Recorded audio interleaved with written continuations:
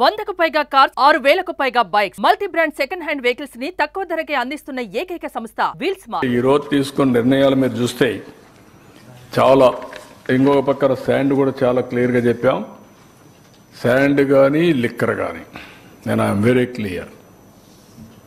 ఆఫీసర్లు కానీ అదే మాదిరిగా పాలిటీషియన్స్ కానీ ఎవరైనా ఈ రెంట్లో ఎవ్వరు ఇంటర్ఫియర్ కావద్దండి. దేంట్లో కూడా అవినీతిలో ఇంటర్ఫియర్ కాకూడదు వీటిలో మాత్రం ఎవ్వరు ఇంటర్ఫియర్ కావడానికి వీలు లేదు. ఏదైతే ఫ్రీ శాండ్ ఈరోజు మినిస్టర్స్ కూడా చెప్పాం. ఆల్ మినిస్టర్స్ వీళ్ళందరినీ ఒక్కొక్క జిల్లాకు చైర్మన్లుగా పెట్టాం. ప్లానింగ్ బోర్డ్ చైర్మన్స్గా అపాయింట్ చేశాం.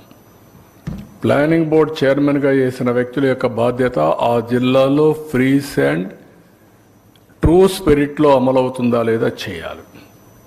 ఎవరు ఇన్వాల్వ్ అయినా గవర్నమెంట్ ఎట్టి పరిస్థితులు ఉపేక్షించాం. తన మన అనే ఇది ఉండదు ఇక్కడ. శాండ్ ఉచితంగా వెళ్ళాలి.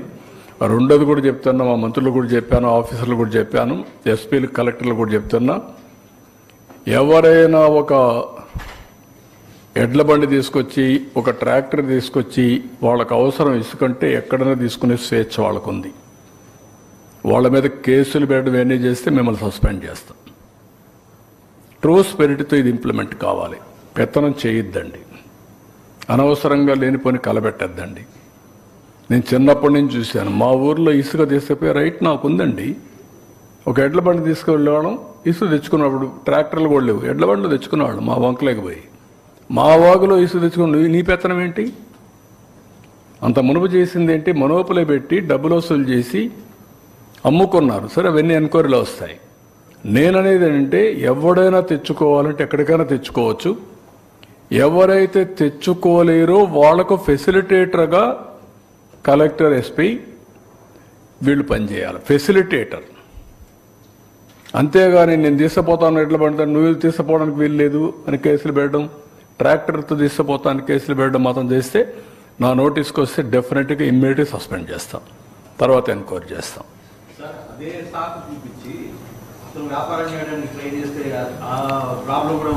No no what I'm saying వ్యాపారం కూడా చేయలేరు. మళ్ళా ఒకసారి లోడ్ చేసి మళ్ళా ఒకసారి ఎత్తపోవాలంటే కష్టం. లారీల్లో ఎక్కడన్నా మన లారీలు కాకుండా ఎక్కడన్నా లారీలు పోతే సీసీటీవీ కెమెరాలో చూస్తే అప్పుడు మీరు పట్టుకోండి. దూరంగా పోతే. పది కిలోమీటర్లు వాడు అయితే సేపు ఇచ్చుకుంటాడు ఏమైపోతుందండి? ఏం కాదు. వై షుడ్ బి బాదర్ ఎక్కడ చేస్తారు? అంటే ఎడ్ల బండిలో ట్రాక్టర్ తీసుకెళ్తారు. ఎంత దూరం తీసుకెళ్తారు? నియరెస్ట్ పాయింట్ తీసుకెళ్తారు. నువ్వు అమ్మేదే కదా? వాడు అమ్ముకొని ఏమైపోతుంది? మనం అది అమ్మకూడదు. సిండికేట్లు తయారు కాకూడదు. కానీ వాడు ఓన్ పర్పస్ తీసుకుపోయినప్పుడు మీరు అబ్జెక్ట్ చేయకూడదు అంటాను నేను. మనకు ఒక ఐడియా వచ్చేస్తుంది.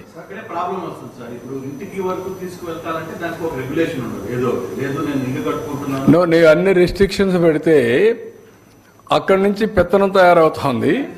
మళ్ళీ అక్కడి నుంచి కంట్రోల్ వస్తూ ఉంది. నాకు రేట్లు తగ్గడం లేదు.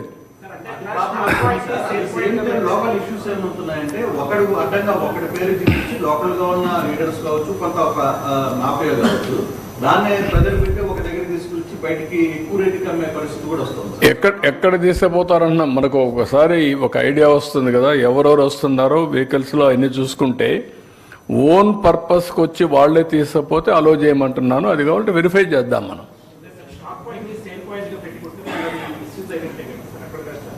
అంటే స్టాక్ పాయింట్ని సేల్ పాయింట్ కంటే వాళ్ళు వాగులో పోయి తెచ్చుకుంటే మనకు అబ్జెక్షన్ లేదంటున్నాను నెంబర్ వన్ వాళ్ళ పర్పస్కి ఇప్పుడు చాలామంది ఓన్ పర్పస్కి తెచ్చుకున్న వాళ్ళపైన మనం యాక్షన్లు తీసుకుంటున్నాం. ఇక్కడ రెండండి.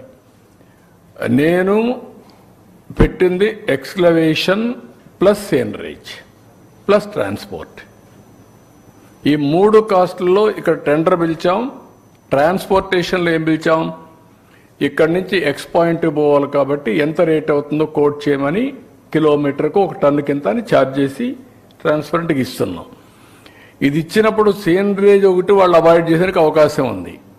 That is only the issue దాన్ని ఎట్ట హ్యాండిల్ చేయాలో విల్ హ్యాండిల్ ఎనభై రూపాయలు డెబ్బై రూపాయలు ఉంది సీనరేజ్ అది అవాయిడ్ చేసే అవకాశం ఉంటుంది.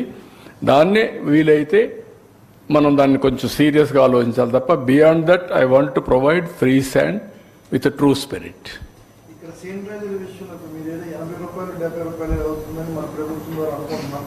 లెవెల్లో సేనిటైజర్ రూపంలో వెయ్యి రూపాయలు టైర్ బండికి అదేవిధంగా ట్రాక్టర్కి పదిహేను వందల రూపాయలు వసూలు చేసే పరిస్థితి కనబడుతుంది.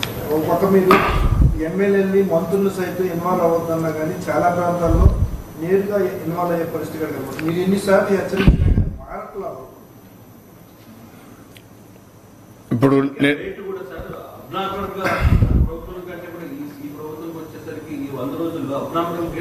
అంటే రెండు ఆస్పెక్ట్స్ వచ్చాయి. పరిస్థితి కూడా బ్లాక్ పాయింట్లో no no no no question ఏంటంటే అది కూడా లెగసీ ప్రాబ్లం లెగసీ ప్రాబ్లం ఏంటి?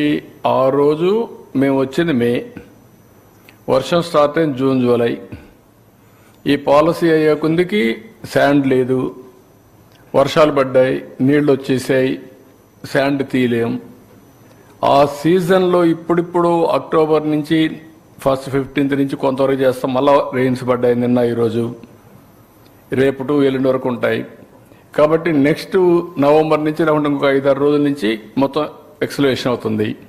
వన్స్ ఇదైతే ఎక్కువ శాండ్ బజార్కి వస్తుంది. ఓన్లీ ప్రాబ్లం మీరు చెప్పిన దానిపైన దీన్ని నేను సీరియస్గా ఆలోచిస్తున్నా.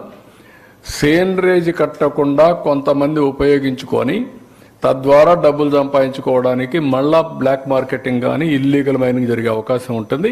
That to head control that planning board chairman set control చేయాలి. Will work it out Suman టీవీలో మీ పర్సనల్ అండ్ బిజినెస్ ప్రమోషన్స్ కోసం కింది నెంబర్కి కాంటాక్ట్ చేయండి.